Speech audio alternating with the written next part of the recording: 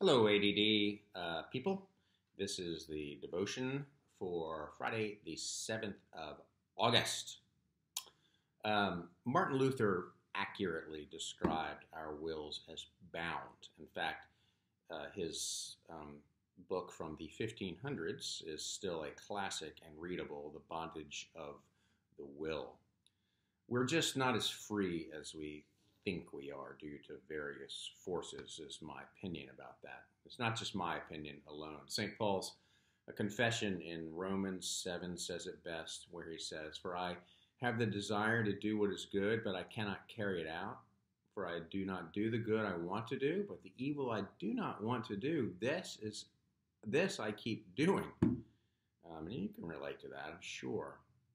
But for those of us who are intoxicated by the notion of free will and need confirmation besides and beyond, say, Luther or St. Paul in the Bible, we can look no further than the comedian Jerry Seinfeld. Yeah, that's right.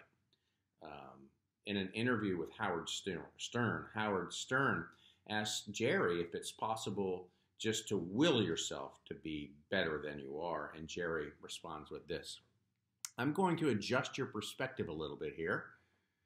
It's not will. What you are doing, what Michael Jordan uses, what I use, it's not will, it's love.